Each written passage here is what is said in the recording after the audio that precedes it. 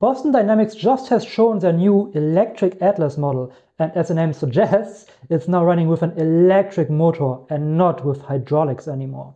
Let's look at a brief video. Now, as you can see here, the robot is laying down. Now they've shown how he stands up, which is, well, a bit creepy for human standards, but it's pretty damn well designed when you think in terms of robotic. Like you can just move all the separate elements uh, and turn and twist, which is pretty cool. Now, as the article states further down here, electric motors tend to be cheaper, quieter, lighter, and less complex than hydraulics, but may wear out faster and more easily, and not offer the same load bearing or strength capabilities of the former. But hydraulics seem, might seem to be preferred, but if they are too noisy or the fluid too difficult to deal with, e.g. prone to leaking or needing replenishment, they may stand in the way of practical commercial deployments. This is really the big thing of this article. With this robot, Boston Dynamics sets itself up to basically mass produce robots and have them ready for practical deployment. So will robots now take your job? Well, I don't think right now, but in the future, there's definitely a possibility for that. Now, the future mm, probably is still a few years off and a few years down the line, but they're setting everything up to go into this direction.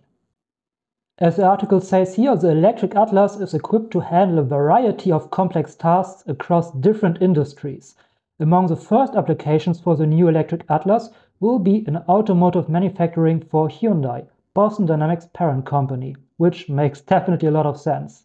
And of course, the article also states that this industry is not new to robots and that already a lot of robots are being deployed. Now, it's just there, it's just locally, and probably the production costs are still pretty high for these robots. But again, with the electric motor, it's easier to handle, and it looks like Boston Dynamics is setting themselves up to, yeah, mass produce these robots for commercial applications. So, is this going to destroy the entire job market?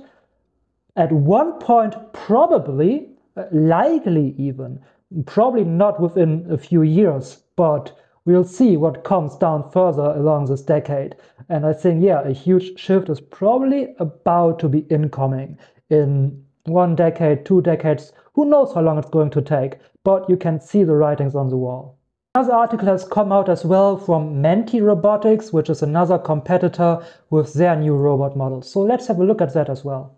Now the video has music, so I have muted it. I don't know if this is copyrighted or not, but she basically tells Mentee, hey, walk to the table in the room. And then the robot, as you can see, has like there this internal representation of the room. Uh, I don't know if this is programmed into the robot or if the robot basically um, searches the environment and then makes its own internal representation. But as you can see, it is walking to the table. And now we don't need to see all of that, but yeah, when it's there standing in front of the table, she is telling the robot, hey, please put this into the into the container and then put the container back there on the counter. Now you can see how it's doing. It's, well, a bit slow and a bit clunky, but well, it works, right? It works and it does what it's supposed to be doing. So that's pretty cool. Now, as you can see, um, it will pick up the container in just a moment right here, right here, and then walk with the container back to, to the kitchen side and then put it on the counter. Now, this looks a lot like what we have seen from OpenAI and also from Tesla, but a little bit clunkier. So if we go here, we all remember that, right? The robot from OpenAI.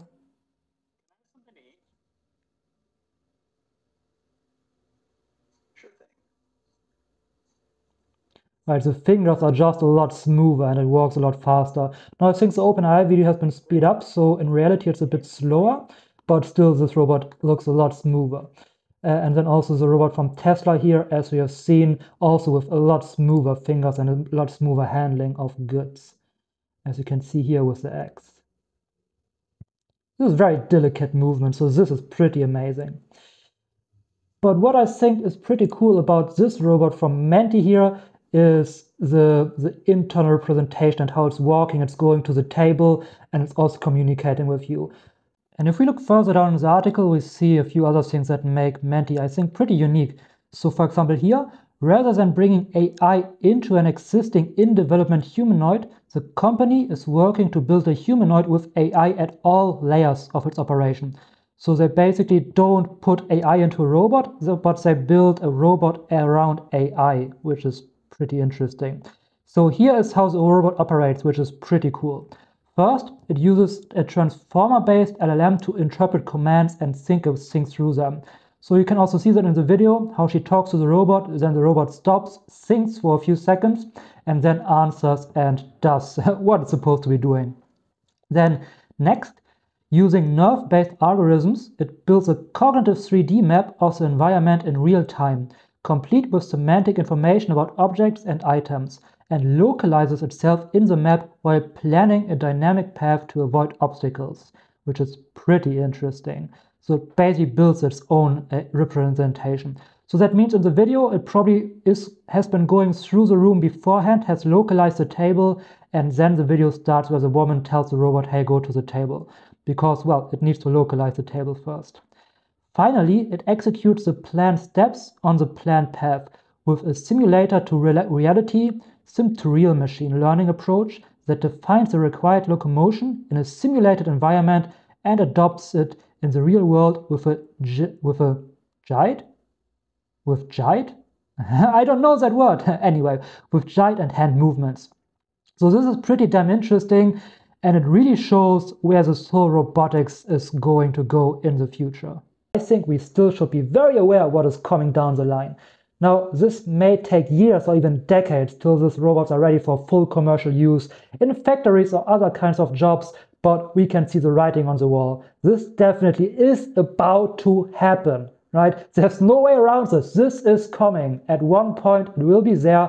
And yes, robots might take your job, especially when they work together with a large language model or any other AI or AGI approach deployed in a robot, um, you can see quite crazy scenarios playing out in the future. But yeah, I'm excited to be here, live in this time, and I think you just need to embrace this and make the best out of it. You cannot fight it, it will come. Large language models, robots, a combination of that, other AGI approaches, for example, Hyperon, in a combination with a robot. We already see Hyperon combined with Sophia robot. So yeah, it's coming and there's no way around it. So you better embrace it and use it for yourself. This is what I would say about this. Anyway, thank you for watching this video. Uh, and this is a video that YouTube thinks you should watch. See you over there.